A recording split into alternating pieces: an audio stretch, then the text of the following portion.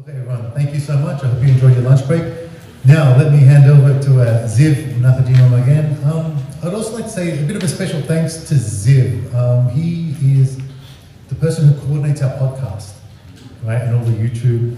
Um, we all jump on it, we all just talk, and then we jump off. And Ziv is the one who puts everything together and uploads it and manages all of that. So I think, but still, it gets done. Versus if it were me, like nothing would get done. So I do want to extend a, a, a sincere thank you for getting that done.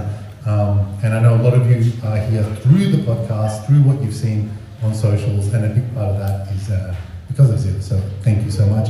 And now over to, to Ziv. Thank you, thank you. Um, so we had the interesting and the beautiful stuff up until now. Now I'm going to bore the shit out of you. So I apologize in advance.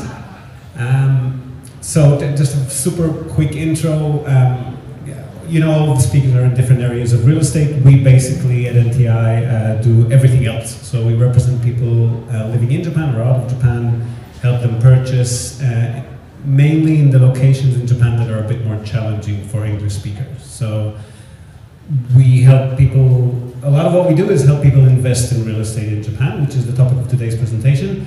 I didn't want to get too deeply into um, selection criteria and locations and population figures. We'll touch on that briefly, but I, what I wanted to do today is just give you a, a really nitty gritty breakdown of what we actually do when we're looking for and then evaluating investment property deals in Japan. So we're going to do it um, in two segments, they'll kind of meld into each other. Um, affordable, cheaper, uh, one room type units in condominium, which are usually the, one of the two most popular asset classes. And then for people who have a bit more of a budget, uh, itobiru, so small buildings, two or three floors, usually wooden structures with up to say 12 or 15 units. Okay, so how do we find investment properties? So basically, if you're already in touch with real estate agents, especially the more um, responsive and proactive type, um, and actually I'd like to take the opportunity to introduce Madame Giman over there, Mika Giman. Could you please stand up for a second? So Mika is one of the agents that we work with. She's based here in Tokyo, but she's one of the unique agents who will actually help you research properties all over the country when you're looking for them. So it, it's rare, but if you do happen to, thank you, Mika, you can sit down. if you do happen to have one of these agents on hand, um, they're extremely useful. And once you've got a relationship with them and they know your criteria, they know what you're looking for, then they will send you emails and PDFs with properties that might suit, and you can help by fine tuning their research. And it's great. But otherwise, if you're doing it on your own, so you're probably familiar, especially if you're living here in Japan, you're familiar with the regular real estate websites that most people use to look for homes. So SUUMO Homes, uh, Nifty Homes, uh, like LIFULL, the rest of them. There are two particular websites, and you can find investment properties on these general uh, multi-listing websites but there's a bit of scrolling and looking for information involved. There are two websites that are particularly geared towards investment properties, which are the ones that we normally use if we don't have anything from agents that we work with. We just go there and research. So one of them is kenbiya.com, and the other one is Rakumachi. Um, the big advantage, and you'll see it when we drill down into the actual research, is that they actually put all of the financial data, all of the numbers together in one centralized location, so it's very easy to then find the data that you're looking for. If you're looking at homes or SUUMO, you'll have to scroll up and down. Some of them don't even list things like um, kumiai, like um, uh, monthly building fees and so forth, and then you have to ask the agents to provide that information. It becomes a bit of a pain in the bum. Rakumachi and Kenbiya will list all of the information for you. So those are usually the two best websites to look for investment properties. That's the ones, th those are the ones that we use anyway. And then going to go up. Okay, so I'm going to be switching between um, the original Japanese pages and translations to English at various points throughout the slides. If you're comfortable with kanji and you're, you're Thank you, Siri. Um, if you're not comfortable with kanji, um, I use uh, Edge Explorer. I just right click and go translate to English. Google has its own thing, Firefox has its own thing. You can get translations. They're obviously not super accurate, but for research purposes, they'll usually do. So If you are particularly interested in a particular region, um, you can select down uh, from the drop-down list here. Again, I'm not going to focus on why we would particularly choose one location over another, except briefly, but there is that option. And then the next thing you do is specify a very wide price bracket. You will be able to fine-tune that uh, a little bit later. And then when you get results, so in this case we're looking for um, Kubun Mansion, condo units, one room, as they call them here, even though they could be three or four bedrooms. Um, and obviously there are a lot of them, even in that relatively small price range. But then we start drilling down and we mark things like, because for mansion units, you're usually looking at reinforced concrete blocks. So uh, Blanca was mentioning before about, you know, uh, properties definitely start deteriorating after 20 years. Not so much the case with the reinforced concrete blocks. We usually prefer to go for 30 years or younger um, for other reasons, more related to building fees and the potential for buyout by developers and so forth. But generally, anything 30 years and younger is going to be in reasonable shape. At least the structure is going to be in reasonable shapes. Within 10 minutes from uh, station, obviously, if you're in a city where there's only trams or buses, that's going to be different. But those are usually not the best investment destinations anyway. So you really want to stay within 10 minutes to a train station and um, we can talk about um, leasehold versus freehold. There's not that much leasehold in Japan, but we usually just go for um, outright ownership of the property. So we start drilling down by this criteria. We still have 864 properties. This is a, a search that I've done last week. But when we start drilling down um, through interest, as they call it here, which is basically rental yield, um, that's when the really interesting thing happens, and we're down to six properties all of a sudden right? And I've chosen here 8% or more. In a minute, I'll show you why I'm going for such high yield. Um, but basically, when I went up to 9%, for example, there wasn't even a single property found last week. I go down to 8%, I got six of them. We still don't know where they are, or we do know where they are. And then I look at the locations, right? So I'm gonna get a list of properties. Usually, if you go by this criteria, it's not gonna be a huge list, maybe up to 20 or 25 properties at the busiest time of the year. The reason for that is because they're so affordable, they go very, very, very quickly. So many times they're going to be sold before they even hit the MLS websites. A lot of times they're going to go directly um, by email from agents to potential investors before they even upload them to the website. So the list is always going to be fairly limited, which makes it easy research-wise. And then what I do next is, because again, I'm ambivalent to location, I'm obviously, I care about location in the sense that I want to invest in a location that's going to be attractive, but whether the property is in Kobe or Yokohama or Fukuoka or Nagoya, those are all cities that are acceptable for me as an investor. Population numbers are okay, industry, economy numbers, uh, economy uh, scenario is okay. So I'm happy with those locations. I'm marking down um, Kobe, Kobe, obviously Tokyo, Chiba, as locations that I know and am comfortable with, and I'm circling locations that I'm going to get back to and investigate later, because I might know, not know these cities. Right? Obviously, there are a lot of cities in Japan that many people don't even know about, but they could be good investment destinations, so we'll look at them. And then we analyze the deal. So we open an Excel sheet, and the Excel sheet that I'm going to show here is the one that we use in-house. It's uh, available as a template to any of you. Just reach out and I'll send you a copy of that. And then we start putting the numbers in there.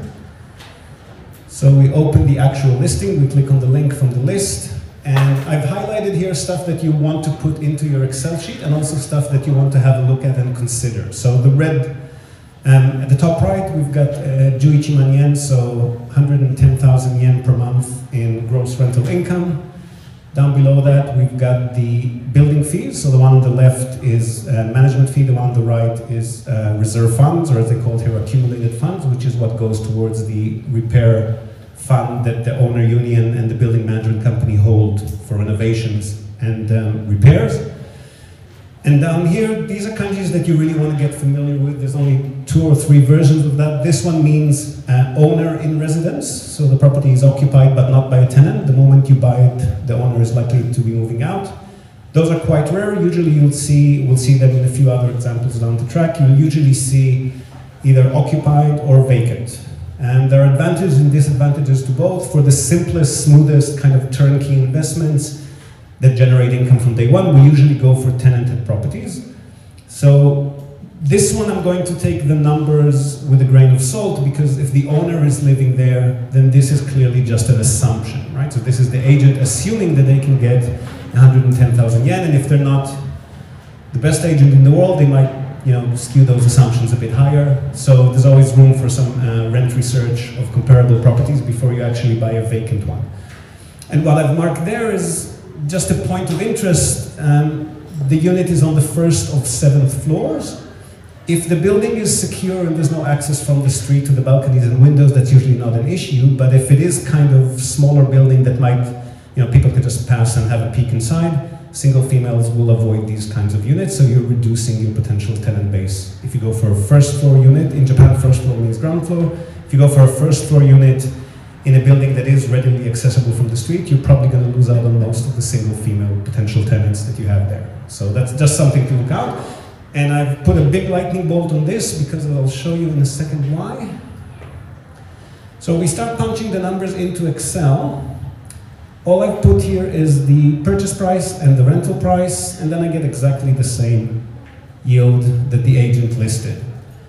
Um, obviously that's complete bullshit because it doesn't factor in any of the purchase costs, any of the running costs, any of the agency fees, any of the building fees, nothing. So once we start adding in the numbers, and this is why I chose 8% to begin with, because if I'm looking at individual units in co-owned blocks, I'm always going to be assuming that the actual yield is going to be at least 3 to 4% lower than what they're actually advertised for. So that number is completely irrelevant to operations. It might be relevant from a tax perspective, but not from a cash and pocket monthly perspective. Because once we start adding in the numbers, Purchase costs um, can vary. So the realtor fee is always fixed, 3% plus 60,000 yen plus tax. That's how it works out.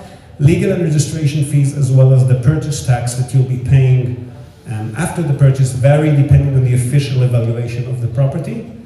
Generally speaking, legal fees for these cheaper properties could be anywhere from 2-3% and all the way up to 5-6%. Purchase tax from 1.5% to 2.5%. So just by putting in these higher worst case numbers, we're already down by almost 1%, about 0.7. But the real fun begins when we put in the monthly building fees. Right, so that takes me down. My lovely 8.8% return property is now actually 5.2% net pre-tax per annum. So just to make it clear what yield means when we talk about these things, yield means the percent of my initial total investment that I'm going to get back from the property every year. And that, as you can see below, that percentage, that will take me about 20 years to pay off. Not to say that this is a bad investment, just explaining why we're searching for 8%, 7% and higher on these websites, because the reality is a lot lower than that. Okay. And then, when we start looking at each and every property. So the first one was in Kobe. We said, nice city, we're happy with that. The second one is in Kuwanashi, which I personally have never heard about until I've done this research last week. So what I went and did is um, I've downloaded this. I've downloaded the latest population census report, um, which is available on the Japanese uh, legal Bureau of, Bureau of Statistics. They publish a population census once every five years. I always check, the first thing I want to check, because Japan being Japan, population is um, conglomerating from um, outer cities and smaller towns into bigger metropolitan centers, what's actually happening with Kuwana City? We see that it lost about 1,600 people in the last five, not the last five years, between 2015 to 2020. It's also quite a small city, so 1,600 doesn't sound like much, but considering the entire population is less than 140,000, it's probably not a growing kind of vibrant location. From an investment perspective, it could be a wonderful place for tourism, to raise a family. From an investment perspective, I might find it very difficult to repopulate a vacant property if the tenant base is constantly shrinking, right? So that's something to consider. And then I go down the list, we got Kobe again, let's see what's happening with this next Kobe property. Oh, vacant, right? So that's the second kanji that you want to familiar yourself, uh, familiarize yourself with. That means the property is vacant. There are advantages, disadvantages to that, but it's not going to be a turnkey income generating property from day one. So if that's something that you're okay with, you can proceed. But then again, just as a reminder, It's vacant, you want to do some market research and make sure it can actually get Nanaman because that's often not going to be the case. So you look at comparable properties, similar size, similar area, similar year of build, and you just make sure that that's a valid assumption. It's usually going to be a bit less than that. Going down the list again, Tokyo. So that's the kanji for um, occupied, tenanted. And again, we look at the price, we look at the rental income per month. Now it's real rental income. The property is tenanted, so this is the actual rental income that we're receiving every month, assuming that the agent is not, occasionally they make mistakes and typos. So of course, all of this you want to um, confirm with them when you're actually looking at property documentation. But assuming the rent amount is correct and assuming the building fees are correct, I'm also highlighting in yellow there the fact that this is a fourth floor property in a four story small building. Um, legally in Japan, property uh, buildings that are six floor or over must have an elevator. Five floors and lower don't have to have an elevator. They usually will. Four floors or three floors, you're getting into potentially no elevator territory. And if your unit is on the fourth floor without an elevator, then Jisan, Basan, single mamas carrying a lot of shopping or single kids uh, or, or little kids on their shoulders and so forth not going to be renting the property. So again, you're reducing your potential tenant base a fair bit, which means longer vacancies in between tenants. But all being said and done, Tokyo property for this price, this rent amount am generating 4.3% and net pre-tax return is not a bad deal. You're not going to get many of those in Tokyo, so we would probably in most cases be okay continuing with this one, even with the potential longer vacancies because of the fourth floor. And then the last on the list, Chiba City, quite happy with that, tenanted again. And we're noticing that there are 86 units in the building. I'll explain why I've highlighted that in a moment. We got the price, we got the rent, the property is tenanted. We're punching all of that in and we're getting about 5% net pre-tax, which again is quite, quite good for Chiba City. It'll usually be slightly lower than that. So we're happy with the returns. Checking the last property on the list, which is in Toride City. Again, similar numbers, not growing in population, so we're probably not going to highlight, highlight that one as a potential attractive investment. So we're left with a few properties um, that we found, one in Tokyo, one in Chiba, and one in Kobe. And I'll, I'll, do, before I get into the actual due diligence related to each property, I'll just explain uh, how the process works when we're looking at entire buildings as opposed to single properties. So with entire buildings, it's important to note that there is no reserve fund being collected. You are the owner of the property. You have to put money aside for renovation and repairs.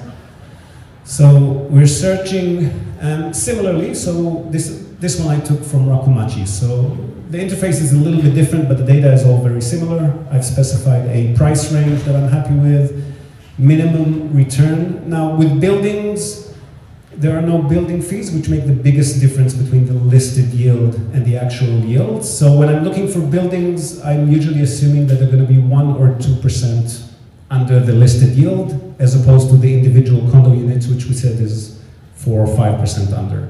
So in this case, I've searched for 6%. Again, I'm just trying to get to about 4% return, which is usually where deals start looking interesting for our customers at least. And when I look for a building, I, I further fine tune the price. So I wanted something between um, 40 million yen to 70 million yen. And I got a bunch of buildings. So in this case, I got 561 potential properties. Obviously, they're more expensive, they take longer to sell, they stay on the market a little bit longer, but they're still very good investments for those who can afford them. So I found, oh, and with buildings again, because they're wooden structures, I mark them as 20 years for the same reason that Blanca explained. Beyond 20 years, wooden structures start to deteriorate faster. Um, obviously, you're probably going to be holding them past that point, but at least on purchase, we want to try to make give us give ourselves five or ten years without these major renovation expenses, which will start accumulating after 20 years of age. So I got this one, 65,000 yen. Interest looks like 6.4, yield looks like 6.42. Here I've got the monthly rental again. The property is tenanted, and this time they're also letting me know that it's fully tenanted. So all of these six units have got a tenant in them at the moment. I put that into Excel and I get about 5%. So 1% down on the listed price. With, with all of the purchase costs, I've factored in here 10%. This is for somebody buying direct. Um, we can get into, in the Q&A panel if you want, we can get into how we calculate potential worst case purchase costs and all of that, but let's assume for now that it's not going to be worse than 10% purchase cost, so that gives me about 5%, and great return for, what was that, Chiba? Chiba? Saitama, Saitama City. Great return for Saitama City, I'm happy with that. And then, once we have shortlisted our final few properties, is when, if the numbers make sense to us at that point, then we will go ahead and contact the listing agent and start receiving due diligence information. So the first thing we're going to do is to confirm that all of the data in the listing is actually backed up in official documents. Initially, it'll be by email or call with the agent, but eventually, before signing, we're going to get the actual official legal documents and we're going to confirm all of the the numbers, the year of bill, the tenant roll, everything that they've shared with us. We want to confirm in official documents. And then we're going to get something like that. So we're going to get a tenant roll. We want to make sure that we know how old the tenants are when they moved in, if they have a guarantee company. There are various types of securities, and a guarantee company being the best among them. And again, I'm going to get very deeply into that now, but we can talk about that later. I'm also going to, so I don't have building fees, but I obviously do have monthly costs. So if it's a new fancy-ish building, it's going to be providing an internet connectivity to the tenants as part of the rent that they pay. There's going to be monthly cleaning, maybe some gardening if there's some bushes or little trees around the property. Um, all of that information will be given by the agent. It's not going to be it's not going to be available on the public listings. We're going to have to contact the agents to get all of this information. We then punch that in, we're still at about 5% because I originally assumed, oh, sorry, you can't see that, but I originally assumed about 20,000 yen in monthly cost, and that wasn't too far off, so we're not that far off on the yield. And then we look at the, and then so, so for a building, this would be about it. You would normally not have a huge renovation history that you can get from sellers if you're buying something 20 years and younger. They haven't done too many renovations unless there was some um, weather damage to the roof or the exterior. But normally, there's not going to be any huge renovation history to look at for a building. But if you're buying a unit in a concrete block, then you definitely want to look, number one, at the renovation history for the entire structure. And number two, if they've got enough money in the reserve funds that they've collected from all of the unit owners. Because if they don't, they will definitely have to raise the monthly building fees before they can schedule a new renovation.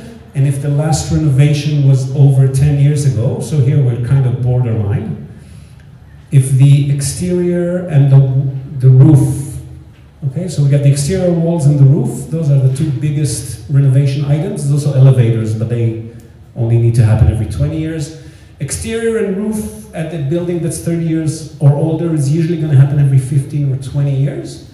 So we look at the last 10 years of renovation history, we see if those two big items were done, and we make sure that they've collected enough to get another big renovation done. So in this case, we're looking at uh, 26,000, 27,000 million yen collected in total, which works out if we divide it by the number of units and we're assuming a similar price for each unit, so that works out to be about 11.5% of the purchase price per unit or per unit owner. If the building hasn't been renovated in the last 10 years, we usually like to see a higher amount in the reserve fund, maybe 20, 30%, just to make sure that the owner union and the building management company do have enough money to pull off a big renovation. In this case, Again, kind of borderline 10 years ago, the roof and the exterior was done, so we probably have at least another five or 10 years before they have to be done again, which probably means that building fees, those two, are not going to go too high in the foreseeable future. So I'm going to have maybe five, six, seven years at this return before the yield starts dropping. Because as building fees go up, um, rental yield obviously drops. Right? So that's what we do with individual units. And um, you will see as you start um, embark on this process of researching these properties on your own that it's very easy um, to just get paralyzed, right? Like, oh, there's three of them that look like kind of borderline good deals. One of them is a bit over the budget. I'm not sure what to do. So you do want to avoid this analysis paralysis. Eventually, you will have to pull the trigger on a property purchase if you want to get into investing.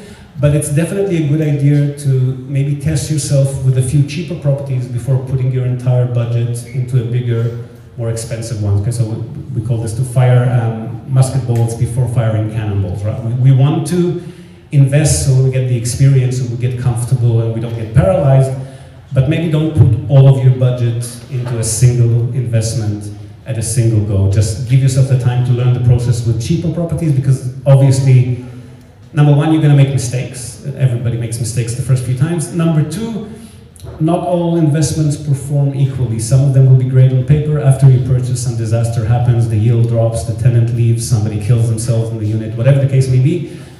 Don't let your first property purchase be all of your budget. Let those things happen um, on a wider scale portfolio and over time so that you can deal with those uh, unexpected occurrences or mistakes that you've made or whatnot. But definitely get into the market. Don't don't sit on your don't sit on your uh, will to invest for years and years and years as some people do. But maybe test yourself with smaller, cheaper properties first. I did that a lot quicker than I thought I would. I thought I'd go over time.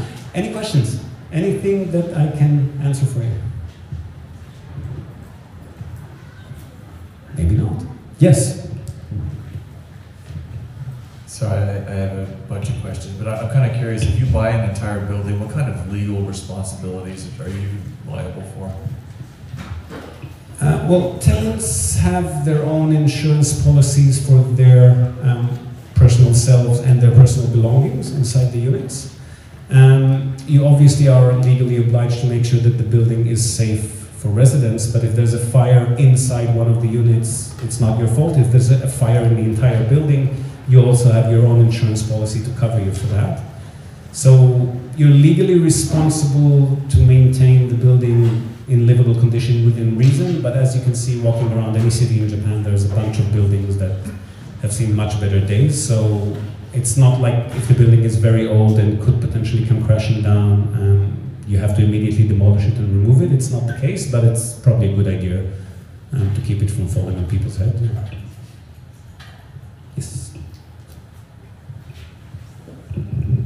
So regarding your services that you provide, do you, if somebody wants, for example, myself as an investor, um, do I contact, for example, this lady in the back as a real estate agent, you work in conjunction with the agent, or do you work on your own, you do the due diligence as well and locate the properties, or how does that work? So we, we're not real estate agents um, or brokers or realtors, and we, we have no interest in being. So we come in as an added layer, um, and people hire us in one of two capacities: either to facilitate the entire deal on their behalf in front of the agent, in front of the property, and then manage the portfolio on their behalf, or if they're comfortable dealing with agents either in Japanese or in English, and they just want somebody to hold their hand, make sure they're asking the right question, because agents. Um, again, there are exceptions like Mika and Emil, but agents are generally speaking transaction oriented. So they're not going to lie to you, especially in Japan. It's, it's generally speaking, again, I don't know, I've heard other things in Tokyo with overbidding, so maybe there's dodgy agents in Tokyo, I, I'm guessing, but usually they're not going to be outright criminal or hide information from you or, or, but they will not necessarily bring out all the caveats that you might have known to ask about so people often hire us as consultants along the way and then we just make sure that they avoid these kind of mistakes. Yes?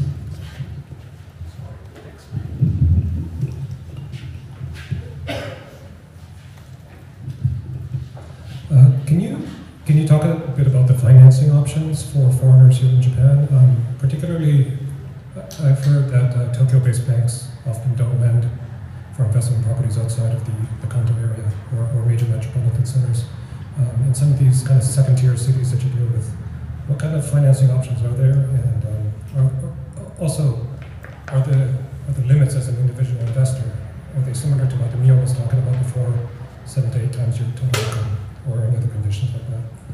So, as far as I'm aware, we don't deal very much. I mean, our customers usually buy their properties in cash. Um, I don't know of too many of them that have actually applied for and managed to get an investment loan. And whether that's because of their personal finances or because they're foreigners or because the banks didn't want to lend for that property, I have no idea. But generally speaking, the borrowing capacity, as far as I'm aware, is similar to what Emil was talking about. So, your maximum borrowing capacity, whether it's for investment or your home loan, um, is up to approximately 7% your annual uh, salary. With businesses, it's a little bit different. So I, I, have heard, and I think there are some people here in the room who maybe know a bit more about investment loans than I do, but I have heard of businesses being able to borrow beyond that, whatever the individual is, is being evaluated on. So that's something to look at. We have seen that local banks are a bit more lenient. So if you're looking for a particular property in a particular area, that listing agent would always have at least one or two bank connections that they already know would qualify this property. So it's usually a better idea, especially if you're out of where your bank is, it's usually a better idea to just ask that listing agent if he can help with, a, with a, organizing the loan for you. But again, when you're getting into rural areas, you really want to have very fluent Japanese because they just freak out at the thought of having to deal with a foreigner in English like anybody else in Japan. So. After that. Oh, thanks for the presentation. Um, I just wanted, you, you mentioned about the rental prices and some of the owner-occupied uh, properties, you couldn't trust the, uh, the, rental value on the website. How do you make that comparison, and do you use some sort of websites to make that comparison?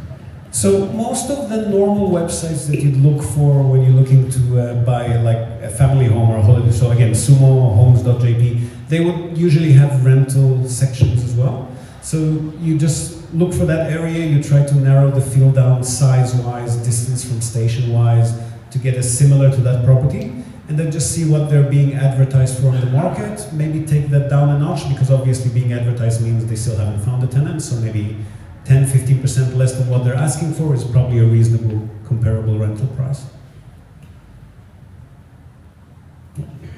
Okay, in the chat. And I think we had, after that, we had another question over there, right? Yeah. Okay, from the chat, Robert Miller asks, uh, is it possible to buy a building in cash, renovate, uh, rent higher, then go to a Japanese bank for refinancing, aka getting an equity loan that is higher than the initial purchase price for further property reinvestment? Yeah, so as far as I'm aware, and again, Emil will probably elaborate in the panel, but there is no such thing as drawing on your equity with Japanese loans. The, the loans that you're going to get are purely evaluated based on your earning capacity, not on the equity that you have in existing properties, unfortunately. Okay, and one more question from the chat. This is kind of a specific situation, but Andreas asks, I have heard before that sellers sometimes team up with financing companies and fill buildings with their own employees, for instance, to run prices up, and then on sale, all the tenants leave. Is this still a thing or just a horror story nowadays? Have you heard of that? so, yes. So, it's it's not a horror story. It, it is based in reality. It is quite rare though. So we have purchased, for example, some properties um, that have had, this usually happens, if it happens to us, it usually happens with individual units. We'll buy an individual unit with a tenant in there that seems to have been in place for like 30 years or 20 years or 15 years, and then a month after settlement, they just move out.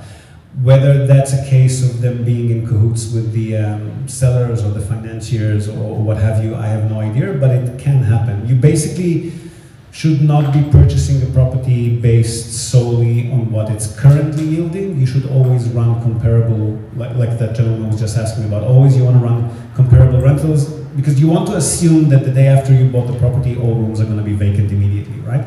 And then you want to figure out how much you can actually get for them. So it's a great point of entry to know that the property is generating 7 8%, but if the comparable average rent in the area Bring it to 3-4%, that's what you should be evaluating the deal on, not the current rent. Thank you. So, so yes, sorry, lady in the back there. Uh, running out of.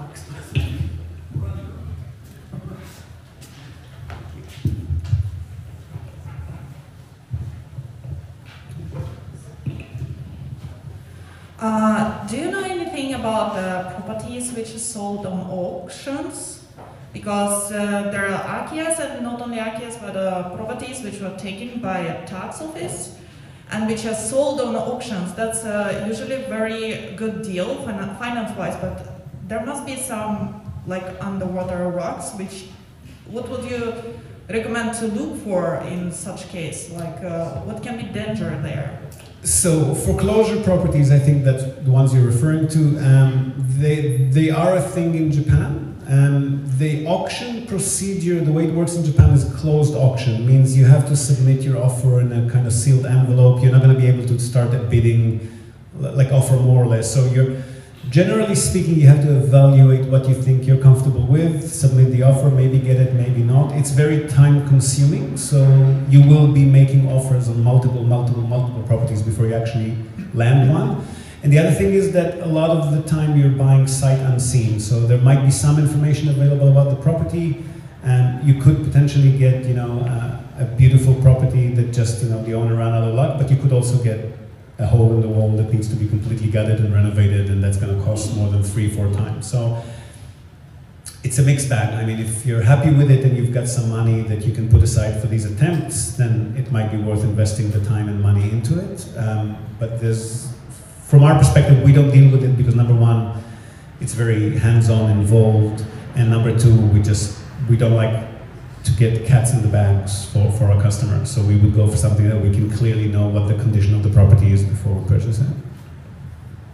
Um, yeah, can I ask a question? Um, here at the back, yeah, hi. Um, yeah, just regarding buying like an older apartment, like 50 plus years, um, they're obviously a lot cheaper on the websites, but they're in danger of being, you know, bought by developers and getting knocked down. So are there any circumstances where that could be a good deal? For example, if you buy it cheap, but then it gets redeveloped and you actually end up could you actually get paid more than what you bought it for, or could you get a discount on whatever is being built subsequently?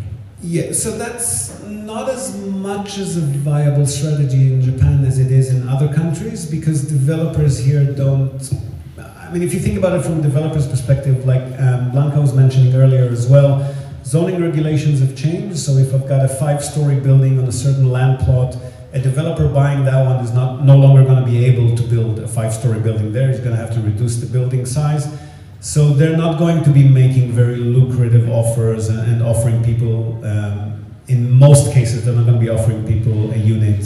So if they bought a 80-unit block and then they can only build 40 units there, they've got 80 unit owners to compensate. They're just not going to do that. So what they do is usually um, they come in with they either buy one or two or three units in the same building, then they get voting rights on the owner union, and then they slowly try to convince everyone to sell at market price at best, usually not beyond that. So it's not a super viable strategy. If you own the entire structure, it's a bit different. So if you own a small two, three story building in a good location, nobody's got any leverage. You just make the decision on whether you want to sell it or not. So it's more viable in these cases, but not, not a huge strategy in Japan, I wouldn't say no.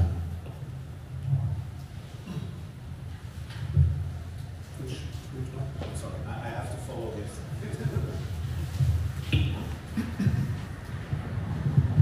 Um, if you're aiming for pre-tax yield of four to five percent, what's the advantage of property over more liquid investments like high yield stocks or bonds? So that is a super high level question. I can tell you what my why I personally prefer property. Number one, it's something I know and understand, so I feel comfortable in it compared to other stuff that I'll have to sit down and study from day one. Um, from what I hear from other people, um, it's insurable.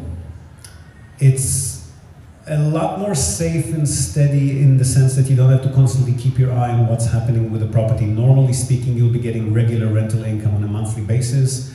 You have to take care of problems when they occur, but it's it's very much set and forget when it works well. So it's probably closer to passive income. I'm not a big expert on stock investments and, and equity markets. I do know that there are people who invest set and forget in equity markets as well. I'm just personally more comfortable with the real estate. Um, and there's like the emotional side of things too. I mean, my dad always said, worst case, you can always live there, right? So that, I mean, it's a tangible asset, but I mean, there's also something to be said for diversity. So I would definitely advise to get a little bit of both, diversify either within real estate or within other sectors or other types of investment. There's always room for that. I don't think there's better or worse. There's just different different preferences for different investors.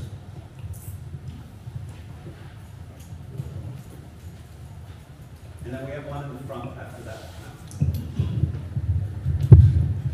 Hi, Ziv. So uh, to tack onto the Zoom question that was asked earlier, if we could slightly change the situation to just owning, fully owning that home, could we take that to a bank for refinancing and then, hold on one second, let me get clarification. Get a loan against that fully owned piece of property for another investment property? Um, Emil, can you maybe chime in on this? As far as I know, you can only get the loan again if you've paid off some of it, but Emil knows a lot better than me on that. Yeah, so in general, as an individual, um, so it's very, very common in the West. So that question makes complete sense, sort of, with our that Western mindset. You know, if I've got a million dollar property and half a million is paid off, and I only have half a million left of debt, I can sort of refinance that and get, you know, three hundred thousand dollars of equity back out to invest in another project.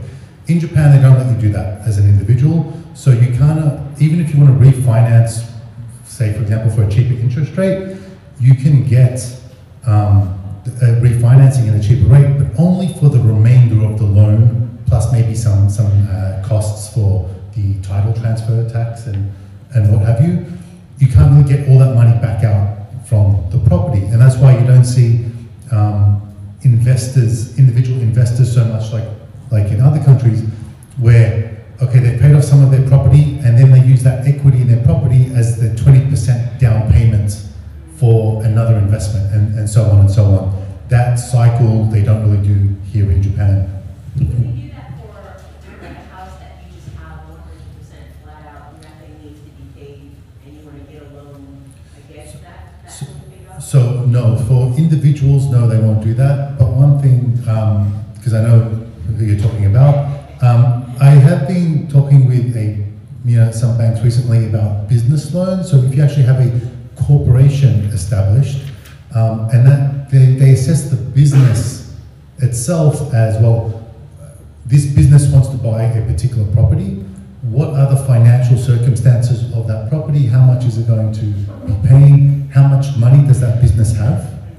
Okay, and even if that owner contributes, say, you know, 10 million yen, 50 million yen, okay, and says that can be a just funds for the business, I'm not going to request it back, then the, the bank knows, all right, the property is going to bring back this much, the company has this much financing. Um, so let's assess it completely as a business venture, not as an individual trying to do it. Even, even, even then, the in, individual's income no longer plays a big part. They assess it just as a business venture in itself. And that's, I think, one of the strategies that, um, you know, I know who's asking the questions because he messaged me before. The, the next step of sort of discussion I want to have with him in particular, um, yeah, because I have been inquiring about financing, but traditionally as an individual, trying to play that, that um, route with Japanese banks is not, is not a realistic option. Yes, was it? Yeah. Correct me if I'm wrong, you can, you can draw down on uh, a loan to do renovation on a property that you really or is that an additional Uh, that'll be a separate loan. So you don't, you'd only draw down on the loan. Personally, rather than a- Yeah, it, it will be a, a reform loan. Yeah.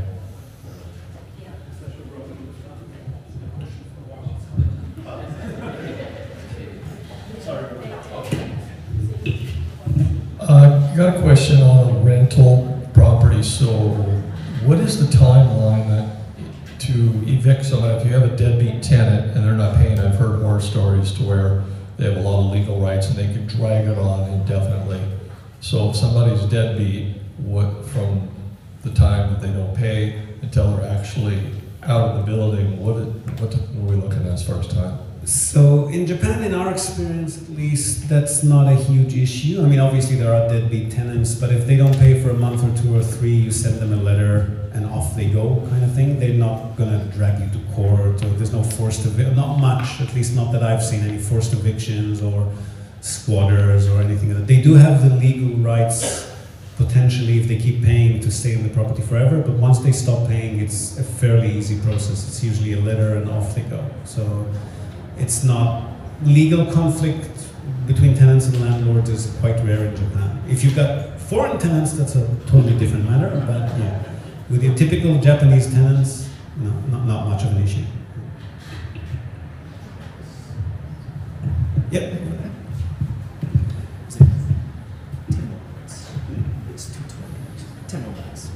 Uh, hi, um, I've got a question about uh, ownership. Um, in, in Australia, where, where I came from, uh, there's this family trust thing. Um, yeah, in, in Japan, is, is that a thing? Um, and how likely, um, I mean, like, obviously, um, if I have a family trust, I would actually assign my kids into the trust as well. So when I die, I, sort of, I, I can sort of pass, on, pass it on to my kids. Um, and then, you know, obviously for tax avoidance, inheritance taxes uh, purpose. And um, yeah, I'm just wondering if that's a thing in Japan or not really, and how likely is that going to affect your loan uh, capacity? So long capacity again, not my forte, but the SMSF that you used to from Australia, um, at least until recently, was not a recognized structure in Japan. So properties need to be owned either by individuals or by incorporated en- entities. So NPOs, family funds, self-managed, whatever, don't qualify for property ownership. You can have um, a company inside the fund. If you're talking about a fund uh, set up like in Australia or overseas, you can have a company inside owned by the fund, and then the company can own property. So that's not an issue.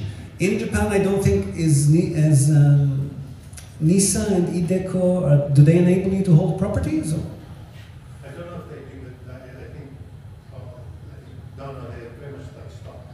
Right, they're not for that purpose, right? So no, it's it's not a structure that's recognized or or exists in Japan, as far as I'm aware now.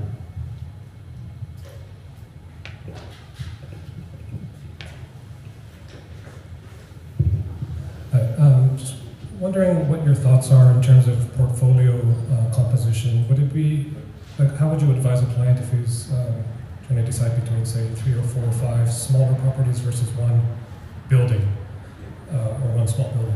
Like, what are the pros and cons there? Um, So I would, generally speaking, advise somebody who has the bad budget, but not only the budget, but also the cash flow budget to handle the more unexpected nature of a building investment. If they can, I would advise them to go for a building investment simply because they get a larger land plot with the property, and land obviously is the only thing that might hold or gain value in Japan. It's never going to be the structure. So, you, but you do need to keep in mind that that 10% or 20% or whatever it is, the building fees that are being charged don't exist. You need to make sure that you have a buffer of 10 or 20% of your annual rental income, whatever it may be, to maintain the building because when the roof goes, it's all you, there's nobody else.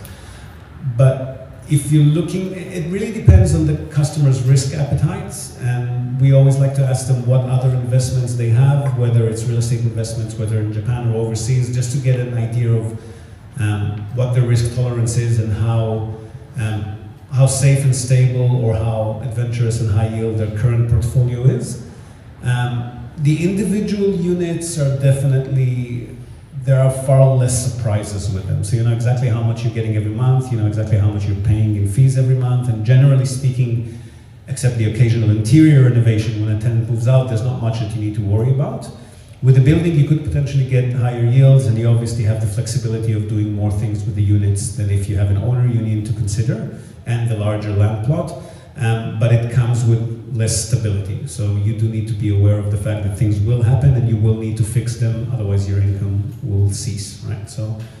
Uh, I would, generally speaking, advise to go for a building if you can afford it. Um, but yeah, if again, if it's your entire life savings, I'd get, I'd maybe put a 50% of your entire life savings into individual units. I wouldn't worry about getting too adventurous. Online, Miss Okuli asks, uh, would you be able to raise rents every year like in other countries here? Absolutely not. Right, it's not done. No. So Japan, um, as everyone who lives here and most people overseas are aware, Japan I mean, we had a good run since late 2012 until now. Even during COVID, you know, compared to other countries, we've done relatively well here.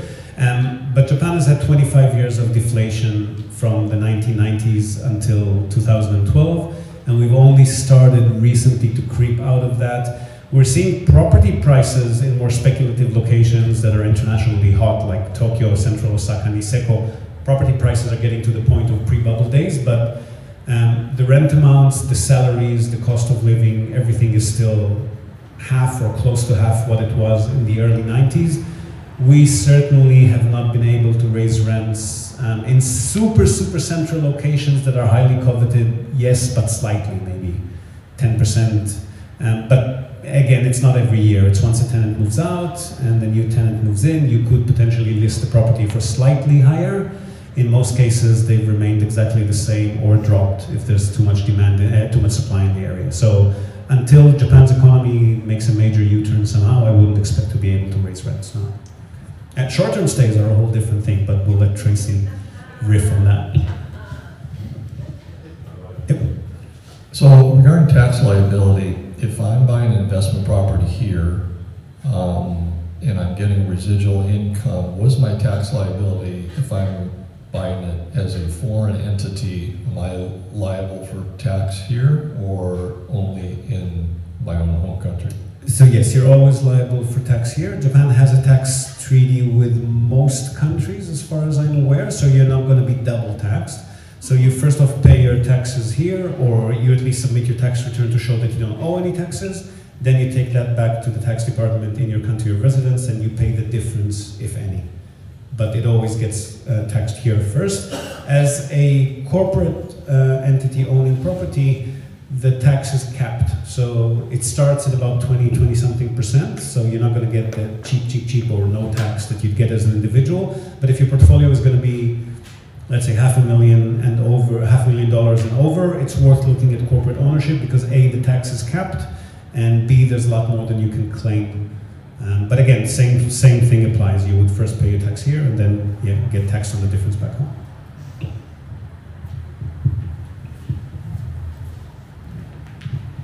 As a building owner, uh, what uh, is the relationship with the homeowners association or whatever it is here in Japan? And then what liabilities do you have or what access do you have to the reserve funds uh, that are held by the organization? As a unit owner, you mean? As a building building owner. So if if there's an owner union, you're not the building owner. They, they own individual units. So what do you mean? I don't understand. So if you buy an entire building, you don't. There's no owner union. It's just you. So there, so imagine there was an existing homeowners association. They get cancelled out if you buy the building because now there's a single owner. There's no need for a union anymore. And if there's if there are reserve funds for maintenance or whatever, you get all of that money. Uh, I would assume so because that uh, we haven't had a case of buying. We usually the buildings that we help customers buy are much smaller than the ones you're talking about, so it's going to go from single owner to single owner.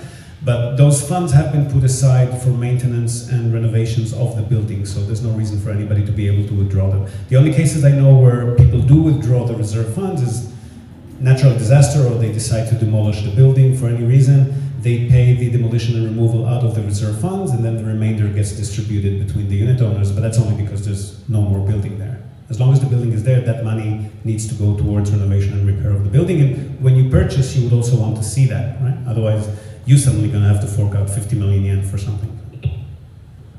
That, that money is supposed to go to the new owner, whoever that is.